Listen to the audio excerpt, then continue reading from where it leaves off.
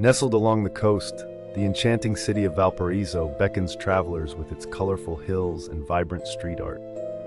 This UNESCO World Heritage Site dazzles with a unique blend of culture and history. As you stroll through the narrow, winding streets, each turn reveals a new mural showcasing the creativity of local artists. The city's iconic funiculars transport you from sea level to panoramic viewpoints, where the Pacific Ocean stretches endlessly, offering breathtaking vistas. Explore the historic port area, rich with maritime heritage, where you can learn about the city's significance as a naval hub.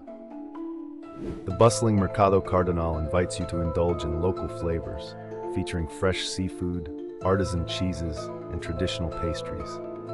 Don't miss trying the empanadas, a beloved local dish bursting with flavor. As evening falls, the lively nightlife comes alive in the Cerro Alegre district, where you can enjoy live music and dance.